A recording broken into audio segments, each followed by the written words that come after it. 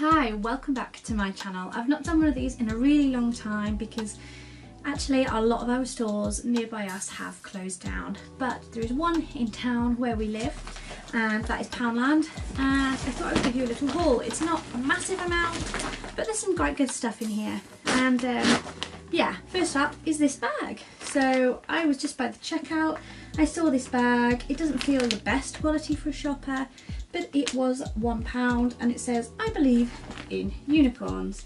And yeah it'll be great. I'm thinking of Daisy's swimming things actually. Uh, we usually use a big Sports Direct one and I thought this was a bit more girly for her.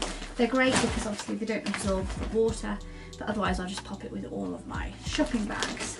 So I'll just pull them out in no particular order but first up I bought some mailing bags these is for the bubble envelopes. I am going through the children's wardrobes and things at the moment and clearing out. Some of their stuff is really good quality and I've got a lot of things like um, Penguin or Ralph Lauren, Ted Baker, that kind of stuff. A lot of it is secondhand anyway that I may have bought off eBay or charity shops and things or hand-me-downs but some of it is brand new like some of their next things so I thought I would do some selling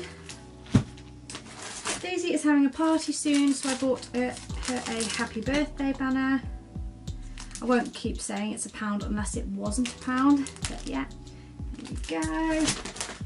She picked up this book, Susie the Sapphire Fairy. We've got a couple of other of these books and we've never bought them from Poundland before. I didn't know they had them actually, but I'll be keeping my eye out because she loves them. They're really sparkly and the illustrations are really nice um, and they're great. And I wish I'd picked up some for birthday presents actually because they're really good and they're really good quality.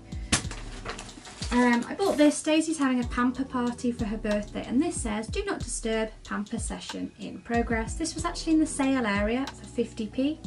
Once her party's done I will pop this on her door because I think it's super cute. Some unicorn plates, there's a bit of a theme going on here isn't there? Some unicorn hair clips and cupcakes.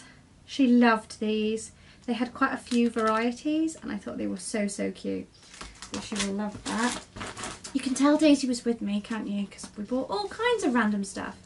Some flip-flops. When we were on holiday in Gran Canaria a few weeks ago, she was mithering us for some flip-flops, but they were all really expensive because we were obviously in a holiday resort and they ramped the prices up. But these were a pound. So if she wears them, then great, I might buy her some nicer ones, more comfortable. But uh, yeah, for plodding around the garden and things, they'll be good. Sweets.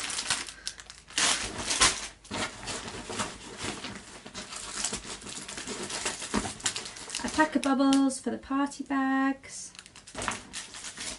Five rolls of sellotape a hair turban. I often, Daisy has quite long hair now and I often put a towel around her head like I would, like a little turban, but it's too heavy for a little head so I thought one of these may be better than one of those toweling turbans. And is that everything? Yeah, that's everything. So not masses, but enough I think to warrant showing you. Um, thanks for watching. Bye.